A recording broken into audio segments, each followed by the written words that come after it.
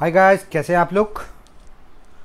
So guys आज मैं आपके सामने हिस्ट्री ऑफ़ इंडिया प्लेलिस्ट के अंतर्गत एक नया लेसन लेके आया हूँ आपके बीपीएससी और यूपीएससी एग्जामिनेशन के पॉइंट ऑफ़ व्यू से। हम लगातार हिस्ट्री में गवर्नर जनरल्स के ऊपर डिस्कस कर रहे हैं कि गवर्नर जनरल कौन था और कौन सा इंसिडेंट या ऐसा कारनामा हुआ था जो हमें याद भी रखना है और जिसके ऊपर क्वेश्चन भी पूछे जाते हैं। तो आज एक नए लेसन के साथ में हम आते हैं। पिछले लेसन में हम लोगों ने देखा था, लॉर्ड हार्डिंग तक पर लोगों ने देखा था, जेम्स फोर्ड तक देख लिया था। अब उससे आगे चलते हैं। लॉर्ड रीडिंग का आप लोगों ने नाम सुना होगा, जो वायसरॉय के नाम से जाना जाता था। ध्यान रखिएगा अट्ठारह का जो विद्रोह हुआ था, पहला विद्रोह, उसके बाद अट्ठारह का जो गवर्नमेंट ऑफ़ वेटर गवर्नमेंट ऑफ़ इंडिया एक्ट आया आया था, उसके आधार पे गवर्नर जनरल का पोस्ट जो है, उसको रिक्रिश्चन या रीनेम कर दिया गया और अब वो वाइस रॉय के नाम से जाने लगा था। करेक्ट तो अट्ठारह के बाद जितने भी थे, सब लोग वाइस रॉय के नाम से जाने जाने लगे ऑफिशियली बट गवर्नर जनरल के तौर पे हम लोग आज भी याद रखते हैं। So Lord Reading was the viceroy at the time in 1921 to 26 जिसका पीरियोडिसिटी या टेन्योर था 1921 से लेके 26 तक। कम्युनिस्ट पार्टी का, आप लोगों ने नाम सुना होगा Communist Party of India communist party का जो इस्टेब्लिशमेंट हुआ था 1921 में एम एन रॉय के द्वारा, कई बार पीटी में पूछा गया है, इसलिए इस बात का ध्यान रखिएगा। और उस वक्त जो गवर्नर जनरल या वाइसरॉय था, वो लॉर्ड रीडिंग था। लॉर्ड रीडिंग के समय में आपने देखा होगा नॉन कॉपरेशन मूवमेंट का जो एंडिंग हुआ था, वो भी लॉर्ड रीडिंग के समय में हुआ था। चौरी चौरा इंसिडेंट जो जोरख गोरखपुर में हुआ था, फरवरी में, इस बात का ध्यान रखिएगा। Correct non cooperation movement Chaura Chauri incident के कारण विड्रॉ कर लिया गया महात्मा गांधी के द्वारा। करेक्ट उसके बाद स्वराज पार्टी की स्थापना। नॉन कॉपरेशन मूवमेंट के बाद जो उस वक्त आंदोलन में क्लाइमेक्स था, चढ़ाव था, अचानक स्टॉप होने के कारण काफ़ी नेताओं में, काफ़ी लोगों में क्या था? मतभेद पैदा हो गया। जो गया सेशन आप लोगों को पता होगा इंडियन नेशनल कांग्रेस का गया सेशन 1922 में हुआ। जहाँ पे मोतीलाल नेहरू और चितरंजन दास काफ़ी एक्टिव थे और वो इस बात का विरोध कर रहे थे कि आंदोलन को उठा विद्रॉ नहीं करना चाहिए था। इसीलिए 1920 की कांग्रेस सेशन के इमीडिएटली बाद मोतीलाल नेहरू और सी आर दास के द्वारा स्वराज पार्टी की स्थापना 1923 में कर लिया गया।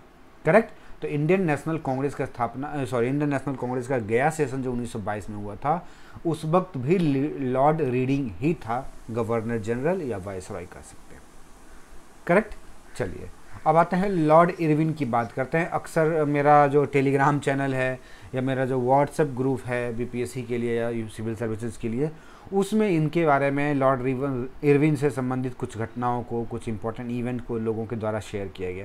I don't know why again again it was being said लेकिन कुछ तो इम्पोर्टेंस है। तो चलिए उसी चीज़ को हम हाईलाइट कर देते हैं।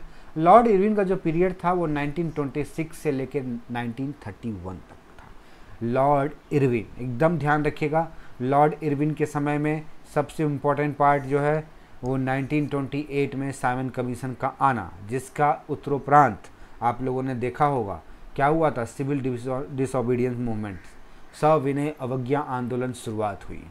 फिर कांग्रेस का जो सेशन हुआ था लाहौर में 1929 में, वो भी लॉर्ड इरविन के समय में हुआ था। 1929 का कांग्रेस का सेशन यूथ सेशन के तौर पर जाना जाता है, क्योंकि जवाहरलाल नेहरू को इस कांग्रेस सेशन में अध्यक्ष बनाया गया पहली बार, ठीक है? और उसके बाद इसी समय में ये डिसाइड किया गया था कि आने वाला 26 जनवरी में हम स्वतंत्रता दिवस मनाएँगे। कंप्लीट इंडिपेंडेंस का डिमांड भी किया गया। कंप्लीट इंडिपेंडेंस, पूर्ण स्वराज का डिमांड, लाहौर के सेशन में। जवाहरलाल नेहरू का स्टेटमेंट भी बहुत लोगों को याद है, इसके रिगार्डिंग। ठीक है? उसके बाद सिविल डिसोबीडियंस हो गया। फिर फ़र्स्ट राउंड टेबल कॉन्फ्रेंस 1930 पहला राउंड टेबल कॉन्फ्रेंस जो हुआ था लॉर्ड इरविन के समय में, और पहले राउंड टेबल कॉन्फ्रेंस में इंडियन नेशनल कांग्रेस का पार्टिसिपेशन नहीं था। इसी के कारण लॉर्ड इरविन ये को गवर्नमेंट की तरफ़ से प्रेशर आया कि इंडियन नेशनल कांग्रेस के रिप्रेजेंटेटिव को राउंड टेबल कॉन्फ्रेंस में पार्टिसिपेट करने के लिए प्रवोक करो या पटाओ, जो भी है right so because of that Gandhi Irwin agreement जो है, काफ़ी एफर्ट लेने के बाद दोनों तरफ़ से गांधी इरविन पैक्ट साइन हुआ और वो था पाँच मार्च 1931 याद कीजिएगा, मैं आपको आज एक असाइनमेंट दे रहा हूँ। पाँच मार्च, ठीक है 1931 तो बता सकते हैं कि अट्ठारह से मूवमेंट से लेकर हमारा देश आज़ाद होने तक पाँच तारीख जो है, वो कब कौन कौन सा इंसिडेंट हुआ था? कैन यू टेल मी पाँच फरवरी भी हो सकता है, पाँच मार्च भी हो सकता है, पाँच जनवरी भी हो सकता है, पाँच जुलाई भी हो सकता है। It doesn't matter but you have to tell me the पाँच तारीख एक ऐसा डेट है जो कई बार कई तरह के इंसिडेंट वहाँ पे देखने को मिले can you recall it and can you put up आज मैं अपने टेलीग्राम चैनल में भी यही पूछने वाला हूँ कि पाँच तारीख के रिस्पेक्ट में अट्ठारह से लेकर उन्नीस सौ सैंतालीस तक में कौन कौन सा इंसिडेंट हुआ था। Can you recall it and put up and post in my Telegram channel Telegram channel का लिंक भी हमारे वीडियो के डिस्क्रिप्शन बॉक्स में मिल जाएगा आपको, अगर आप लोग ज्वाइन करना चाहते हैं तो कर लीजिएगा, क्योंकि वहाँ पे न न केवल आपको मल्टीपल चॉइस क्वेश्चन मिलेगा। आज के डेट में मैं बताऊँ मटेरियल भी थोड़ा थोड़ा मैं लोगों का इंटरनेट से मटेरियल जो मिलता है, आप लोगों के बीच में इंपॉर्टेंट मटेरियल को शेयर भी करना शुरू किया हूँ। So multiple choice question Hindi और इंग्लिश दोनों में आपको मिलता रहेगा। Okay more than twenty question every day you will get to solve in from every subject history geography कोई कोई सेक्शन में उठा के उसके ऊपर दस क्वेश्चन पुटअप कर देता हूँ, ताकि उस सेक्शन के बारे में रिवीजन हो सके। चलिए तो गांधी इरविन एग्रीमेंट के बाद पाँच मार्च उन्नीस सौ इकतीस को हुआ। उसके बाद इंडियन नेशनल कांग्रेस में सेकेंड राउंड टेबल कॉन्फ्रेंस में पार्टिसिपेट करने के लिए डिसीज़न लिया गया। तो इस गांधी इरविन पैक्ट के आधार पर ही इंडियन नेशनल कांग्रेस के रिप्रेजेंटेटिव जो है सेकेंड राउंड टेबल कॉन्फ्रेंस में पार्टिसिपेट करने के लिए तैयार हुए, जिसके लिए गांधी जी और बहुत सारे नेता वहाँ पे पहुँचे भी। ध्यान रखिएगा। उसके बाद लॉर्ड वेलिंगटन का नाम सुने होंगे। लॉर्ड वेलिंगटन 1931 से लेकर 36 तक था। 1931 से लेकर 36 तक। देखिए, मैं आपको एक तरीका बताता हूँ। हिस्ट्री को अगर आप कवर करना चाहते हैं ना तो आप क्या कीजिए कि लॉर्ड वेलिंगटन या जैसे लॉर्ड इरविन हम लोगों ने पढ़ा, उनके दरमियान जो मेजर मेजर इंसिडेंट मैं यहाँ हाईलाइट कर रहा हूँ, उसके बारे में अभी वीडियो ख़त्म होने के बाद आप ज़रूर पढ़ लीजिएगा। देखिएगा कि आपको न केवल लॉर्ड वेलिंगटन या लॉर्ड इरविन या गवर्नर जनरल के बारे में याद हो जाएगा, बल्कि इंसिडेंट्स या जो घटनाएँ हैं वो डिटेल में जहाँ से भी आप पढ़ रहे हैं टेक्स्ट बुक वो भी आपका रिकॉल हो जाएगा। है ना? चलिए, लॉर्ड वेलिंगटन के समय में second and third round table conference हुआ, जो 1931 और 1932 दोनों था। सेकेंड राउंड टेबल कॉन्फ्रेंस में तो जैसा कि मैं आपको बताया ही कि पार्टिसिपेट किया नेशनल कांग्रेस की तरफ़ से लोग but again third round table conference में इंडियन नेशनल कांग्रेस के पार्टिसिपेंट वहाँ नहीं गए थे। करेक्ट? उसके बाद आपको याद होगा कि इंडियन नेशनल कांग्रेस के सेकेंड राउंड टेबल कॉन्फ्रेंस में पार्टिसिपेशन तो नहीं था, लेकिन बोला जाता है कि गांधी जी 1931 से के राउंड टेबल कॉन्फ्रेंस करने के बाद जब तक लंदन यहाँ पहुँचे, तब तक 1932 हुआ और 1932 में कम्युनल अवार्ड ऑलरेडी अनाउंस हो चुका था। तो 16 अगस्त 1932 को कम्युनल अवार्ड अनाउंस किया गया, जिसके आधार पे हमारे कम्युनिटी हमारे सेक्शन में एक डिवीज़न क्रिएट करने का प्रयास किया गया ब्रिटिश गवर्नमेंट के द्वारा। करेक्ट और जो कि इसके विरोध में गांधी जी और बहुत सारे नेता जो है विरोध करना शुरू किए और इसी कारण से गांधी जी उस वक्त जेल में थे और क्या बोलते हैं इसको? हाँ अंबेडकर जी इनके सपोर्ट में थे कि कम्युनल अवार्ड में जो सीट प्रिविलेज दिया जा रहा है या रिजर्वेशन फॉर लोअर कैटेगरी लोग, उनके लिए पॉलिटिकल राइट क्या अपलिफ्टमेंट के लिए अच्छा है तो इसी चीज़ को ध्यान में रखते हुए गांधी जी ने अनशन किया और फाइनली पूना पैक्ट पर अंबेडकर जी और गांधी जी के द्वारा साइन हुआ और वो पूना पैक्ट 26 सप्टेम्बर सॉरी चौबीस सितंबर 1932 को साइन हुआ। अब इसके आधार पे क्या हुआ कि महात्मा गांधी के काफ़ी क्या बोलते हैं परसुएसन के, के बाद पूना पैक्ट के अंतर्गत बैकवर्ड क्लास के लोगों के लिए लोअर क्लास के लोगों के लिए सीट एलोकेट कर देगा क्योंकि गांधी जी का मानना था कम्युनल अवार्ड जो है, एक परमानेंट डिवीज़न क्रिएट करेगा हमारे सोसाइटी में। या कह सकते हैं हमारे डिवीज़न के गैप को बढ़ा देगा या गैप को हमेशा कंटिन्यू रखेगा।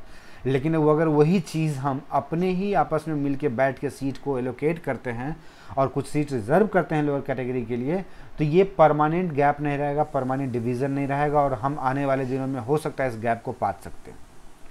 तो पाट सकते हैं तो पाटना जो होता है ये अपने आप में एक इंपॉर्टेंट एस्पेक्ट था पूना पैक्ट का।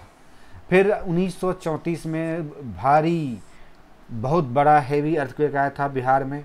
और आपको याद होगा कि मैं जब बिहार के मधुबनी मधुबनी पेंटिंग के बारे में डिस्कस कर रहा था, तभी मैं बोला था कि ये अर्थक्वेक जो है डिवास्टेशन लाया था, लेकिन साथ में मधुबनी पेंटिंग का जन्म भी हुआ था। अब कहेंगे कैसे? मधुबनी पेंटिंग एक फोक पेंटिंग है जो पहले से ही चला आ रहा था। और महिलाओं के बीच में फैला हुआ था।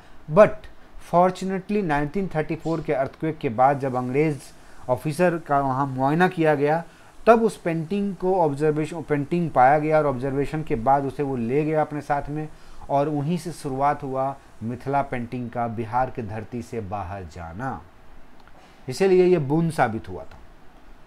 है ना? ब्लेसिंग उसके बाद इंडियन गवर्नमेंट एक्ट 1935 आया, ये आप लोगों को पता ही है, जिसके आधार पे, या कह सकते हैं, जिसका मेजर पार्ट जो है हमारे इंडियन कॉन्स्टिट्यूशन में आज भी एग्जिस्ट करता है। सो कह सकते हैं कि ये एक ग्राउंड बना था हमारे इंडियन कॉन्स्टिट्यूशन का फ्रेमिंग में 1935 का। इसके बाद आपको पता ही होगा कि टेम्प्रोरी गवर्नमेंट 1937 में भी गवर्नमेंट का निर्माण हुआ था, और इस तरह से बहुत सारे चेंजेस लाए गए थे मिनिस्ट्री का निर्माण हुआ था। तो ये लॉर्ड वेलिंगटन के समय में था, ये ध्यान रखिएगा। इस चीज़ को कनेक्ट कीजिए, किसी न किसी तरह के इंसिडेंट से देन यू विल फाइंड कि बहुत ही ईजिली आप याद कर पाते हैं। जब भी मन में याद कर लीजिए, मन में बिठा लीजिए कि जब भी कोई भी हम मूवमेंट पढ़ रहे हैं तो हमें गवर्नर जनरल को एक बार अपने माइंड में ये रिकॉल करना है। कोई भी मूवमेंट पढ़ रहे हैं, एक बार रिकॉल करना है। ऑटोमेटिकली यू विल फाइंड कि सारे के सारे आपके माइंड जहन में बैठ चुका है। चलिए लॉर्ड लिथगो 1936 से लेके 1943 तक सबसे मोस्ट इंपॉर्टेंट इस समय कर रहा था क्विट इंडिया मूवमेंट। 1932 का 1942 का क्विट इंडिया मूवमेंट। राइट? ये ध्यान रखिएगा। चलिए उसके पहले, फ़र्स्ट जनरल इलेक्शन जो हुआ था, जो मैं आपको बोला था अभी कि 1935 एक्ट के बाद जनरल इलेक्शन हुआ तो वो 36 37 में हुआ गवर्नमेंट का फॉर्मेशन हुआ प्रोविंशियल गवर्नमेंट का फॉर्मेशन हुआ था ओके उसके बाद सेकेंड वर्ल्ड वार जो है 1939 में जब शुरू हुआ था तब इंडिया का गवर्नर या वायसराय के तौर पे लॉर्ड लेने वो ही थे। फिर अगस्त प्रपोजल का नाम आप लोगों ने सुना होगा जो 8 अगस्त 1940 को हुआ था इस अगस्त प्रपोजल के दरमियान। आप देखिएगा इसी समय में आ, एक इंसिडेंट आ रहा था याद में मुझे याद नहीं आ रहा है। दिल्ली चलो की बात शायद हुई थी। चलिए, कोई बात नहीं, याद आएगा तो I will tell you later on so August proposal 8 August 1940 okay फिर क्रिप्स मिशन 1942 क्रिप्स मिशन कब हुआ था? 1942 के। इसी क्रिप्स मिशन के फेल्योर के कारण या इसके कारण जो डिससेटिस्फैक्शन और डिसकंटेंटमेंट अराइज हुआ लोगों के दिमाग में, नेताओं के दिमाग में और वो फाइनली वो they decided to launch a movement in the name of quit India movement जिसमें डू एंड डाई डू और डाई की बात हुई थी। करो या मरो, वैसे ही मेरे चैनल का भी नाम है है ना? करो या मरो के एम लर्निंग जो चैनल है, वो करो या मरो का नाम है। करो या मरो सो करो या मरो के अंतर्गत आप लग जाइए, है ना? हमारे चैनल से जुड़े रहिए, आपको यूपीएससी या सिविल सर्विसेज़ के किसी भी एग्जामिनेशन के के आधार पर आपको मटेरियल मिलेगा।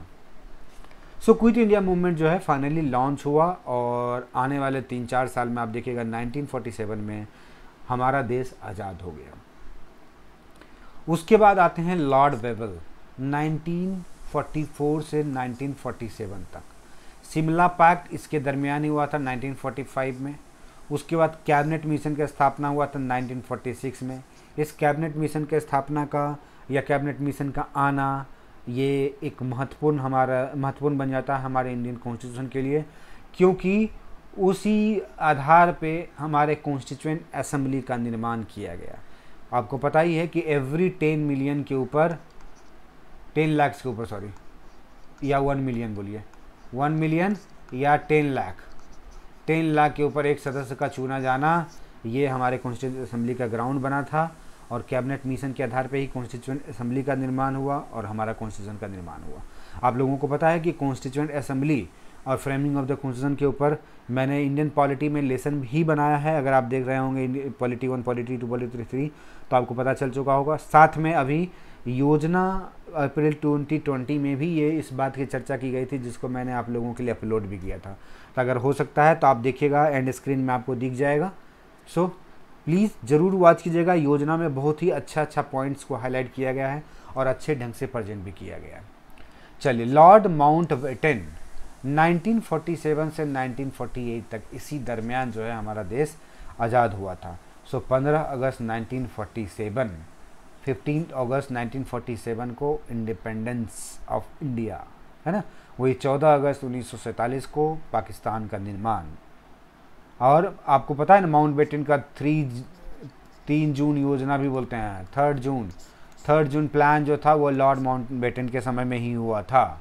करेक्ट उसके बाद सी राजगोपाली वायसराय या कह सकते हैं गवर्नर जनरल बने, जो कि पहले और लास्ट इंडियन गवर्नर जनरल के तौर पर नियुक्त हुए। मतलब पहला इंडियन गवर्नर जनरल और last Indian governor general of India और इस तरह से आप देखेंगे कि टोटल गवर्नर जनरल का कवरेज मैंने कर दिया। आई होप कि आप गवर्नर जनरल को अगर सिस्टमेटिकली इन चार पाँच वीडियो को आप लोगों ने देखा है, और अगर नहीं देखा है तो आप देखिएगा ज़रूर। ये हो सकता है कि आपको लगता होगा कि एक पॉइंट दो पॉइंट है बट इस दो पॉइंट को मैं इसलिए सिर्फ़ रखा हूँ। बहुत सारा इंसिडेंट रहा है छोटी छोटी भी, बड़ी भी, लेकिन बड़े बड़े पॉइंट को रखा हूँ ताकि याद करने में आपको आसान हो। और किसी भी इंसिडेंट के बारे में अगर मेजर मेजर पॉइंट्स आपके जहन में घुस गया है तो मान के चलिए कि आपका फर्दर जो छोटे छोटे पॉइंट्स याद करने की बात होती है, उसमें माइंड का एफर्ट कम लगेगा। तो पहले हमें किसी भी चीज़ के बारे में ओवरव्यू लेना चाहिए। इसीलिए मैंने गवर्नर जनरल के मेजर पॉइंट्स और सिग्निफिकेंट एंड इम्पोर्टेंट पॉइंट्स को मैंने हाईलाइट कर दिया okay guys so stay tune to KM learning channel and please do not forget to subscribe आप लोग सब्सक्राइब कर लीजिए बेल आइकन को भी प्रेस कर दीजिए। साथ में बेल आइकन प्रेस करने के समय में जो नोटिफिकेशन आता है, उसको ऑल नोटिफिकेशन ऑन कर दीजिए, या यूट्यूब का सेटिंग भी आप अपना नोटिफिकेशन ऑन कर दीजिए, ताकि हमारे वीडियो का इन्फॉर्मेशन आप तक पहुँचता रहे। नहीं तो बहुत लोगों का कहना है कि उनका वीडियो वीडियो का इन्फॉर्मेशन उन्हें नहीं मिल पाता है। Okay guys so thank you stay tune to K M learning channel